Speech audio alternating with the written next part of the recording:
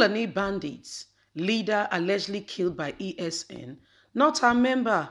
We are not bothered. Miyetti Allah replies, IPOB. Hello, my wonderful people. Miyetti Allah, these are the Cattle Breeder Association that are not saying the truth. You know, when something is going on and you are becoming a target, what do you do? You do everything humanly possible to ensure that you remedy the situation. One of such things is, you know, pointing out the criminals among you, those who are spoiling your name. But apparently, it seemed that they're on the same page with the rampage of killing, you know, destruction of lands and property, and trying to take acquire land that does not belong to them by force on other people's soil.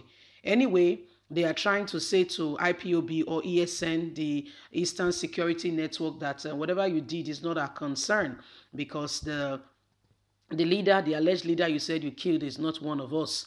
Please don't forget to give us a thumbs up, subscribe if this is your first time. God bless you. Thank you so much. The Secretary General of the Maitiala, Alhaji Hassan, has said his organization has no connection with a suspected leader of the gang of Fulani bandits, Mohammed Isiak, allegedly killed by the Eastern Security Network after he was captured in Benue State. Hassan, through undermined about the arrest and murder of Mohammed Isiak, said to be the notorious Fulani warlord, as revealed by indigenous people of Biafra. He, however, questioned the authority of the group to carry out such an act. He told Sahara Reporters on Friday while responding to the statement by the IPOB that Isiaq Mohammed has been handed over to his ancestors.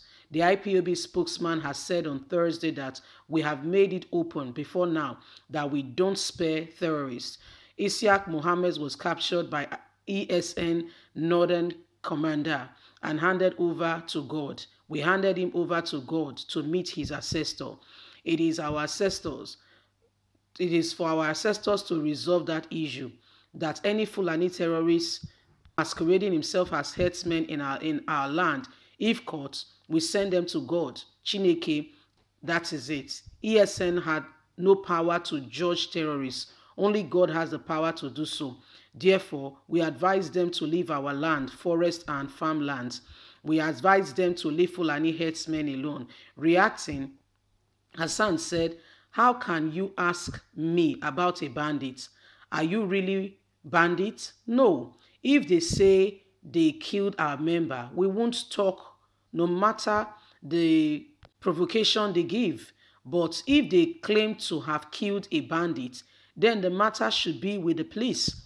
Hassan, in his response, reiterated that the Fulani Cattle Headers Association and his organization are not criminals. Therefore, we would not consign, we, were, we are not concerned with whether the punishment or the measure the, the criminal has been dealt with. He challenged the IPOB to release the corpse of the leader of the bandits to the police to know if they truly have killed him.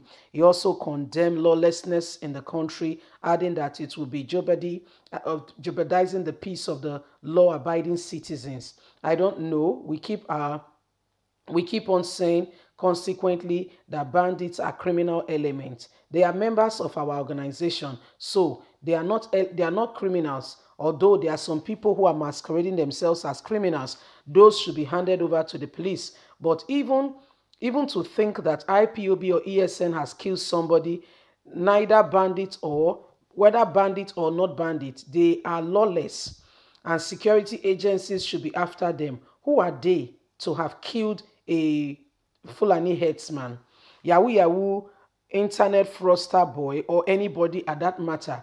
They cannot do that. We must not encourage lawlessness because if we encourage lawlessness, I am telling you, this country is gone. See, every tribe is trying to raise their bar, saying that the Fulanis are the problem of the country, giving stories here and there. If they kill them, they are keeping and they are keeping the cops they should give the cops, at least to the police now, for them to be able to tag and to know really if he was a bandit. You see, all these things, lawlessness that is going on in this country is not good for the country or the name of the country. I am telling you, I pity those people promoting the kind of statement. Because at the end of the day, if there is any crisis, you think anybody will benefit, We we have Igbos in our own nook and crannies of this town. So it's not good. We are trying to promote lawlessness and cause chaos and war. You see, we need to keep harmony and peace and work together with people. I think this is politics and it's not our business. If the IPOB kill themselves or kill, anybody or take laws into their hands. So this is the indigenous people of, uh, this is the Maiti Allah replying the indigenous people of Biafra saying that uh, they don't care if they say any Fulani uh, warlord has been killed in uh, in, Bur in State. Remember, we brought you that news that uh, a group of um, uh, headers who have been terrorizing the place have been caught by the ESN and has been dealt with with the full route of the law. You know, Miyetti Allah is now replying, responding, saying he's not sure those people are bandits that um, and again they feel that the ESN has no no capacity to take laws into their hands. I I understand what you're saying, but I I feel baffled every time they are talking about law abiding citizens when you are the very one breaking the very law. So I'm I'm I'm I'm I'm really confused.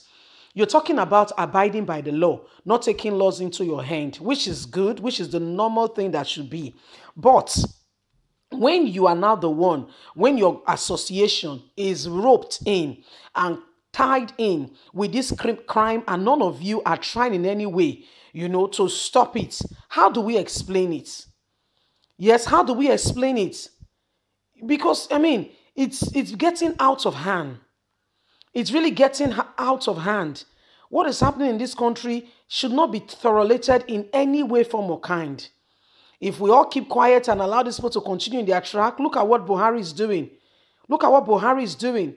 Keeping quiet and allowing these people to, to carry on. In fact, once you anything happens, is the first person to want to defend them straight away. First person to want to defend them straight away and leave them, blah, blah, blah, blah, blah, and nothing is being done. We all need to rise up and say no because this evil has gone on for far too long. It is not acceptable in any way, form, or kind. It's not acceptable. It's not acceptable. How can you let people live in a situation or in a, in a society where there are no there is no protection? What kind of country is this? Anyway, guys, what do you think? Please leave us a comment. Don't forget to please like us, share, subscribe. Click on the notification button so you can get all our latest news. We really appreciate you. Thank you so much.